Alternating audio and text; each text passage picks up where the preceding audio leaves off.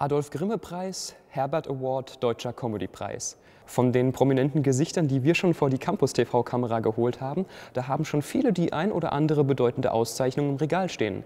Professor William E. Myrna übertrifft sie aber wahrscheinlich alle, denn er wurde mit dem Nobelpreis für Chemie ausgezeichnet. Kürzlich war er hier an unserer Uni zu Gast und wir haben ihn getroffen. Laura Zieger stellt drei Fragen an William E. Myrna.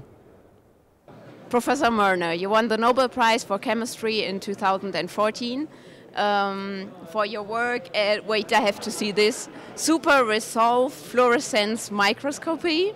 So my first question is maybe a little bit hard because I don't have any sense how this works. Can you explain it to me? Sure. Sure, I certainly can. You know, what we want to be able to do is to see very, very tiny structures, but to use light to see those tiny structures.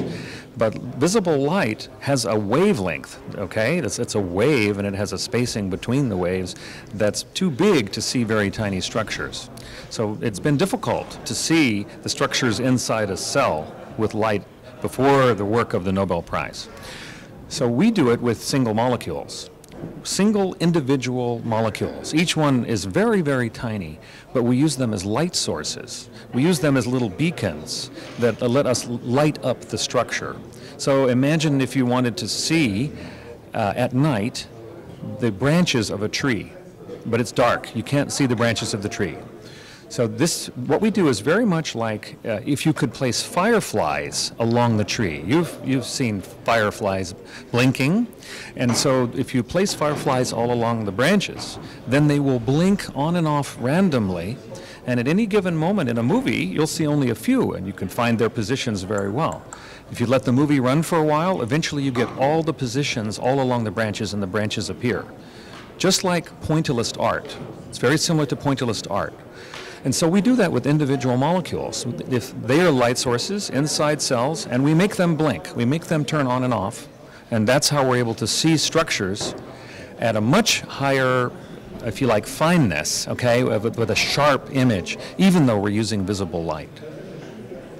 You already won a lot of prizes, like in the 1980s, and now the Nobel Prize. So, do you have any other goals, or you have any prizes left for you to win? You know, what, what drives us, what drives me, is science in general. What drives me is the ex exploration, always trying to answer new questions.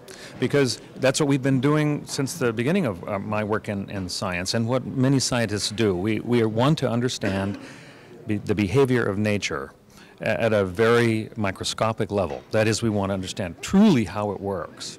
And so that idea goes throughout my life and it's going to continue throughout my life. There are so many more uh, unknowns about what, what goes on inside cells, how the little nanomachines work, that we want to continue to explore using these ultimate light sources. And that's the, that's the future for us, really, because there's so much that's still unexplored. These methods are relatively new. Our research shows that you are a big fan of guacamole. Can you explain it to us? well, that's a, a, pretty pretty silly joke. It's a, it's a bit of a pun, and so that means that you have to sort of you know follow me to, to get the meaning of this.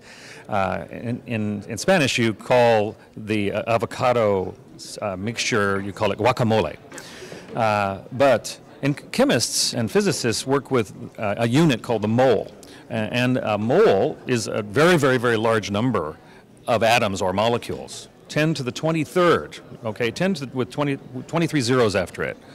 But we don't look at that many molecules, we look at just one, just one. So it turns out that uh, if you think a bit about it, uh, the number of moles that we're studying when we study one molecule is 1 over 10 to the 23rd. All right? So we call a single molecule a guacamole because a guacamole is uh, basically 1 over avocado's number of moles. This big number that's the size of a mole is, is called Avogadro's number. So we've changed his name, we've made this joke, it's something like a different prefix. I mean, and, and all of the other prefixes that are out there in chemistry, uh, there's one for 10 to the minus 9, to minus 10, minus 15, minus 12, and so on. But here we don't really want to have any fractions. We don't want to have any numbers after the decimal point. It's only one molecule. So it's one guacamole. Also ich habe ja jetzt schon was gehört von dieser hochauflösenden Mikroskopie. So ganz habe ich das noch nicht kapiert. Deswegen höre ich mir jetzt mal den Vortrag an, weil die Abschlüsse, die er alle hat, diverse in Mathematik, Elektrotechnik und Physik, habe ich auch nicht. Deswegen, ich gehe da jetzt rein und bestimmt weiß ich danach mehr. over uh, a range of wavelengths. That's the key point, that there is uh, some perturbation that makes them have difference uh, on this inhomogeneously brought line that results from statistical number fluctuations or the discreteness of individual molecules.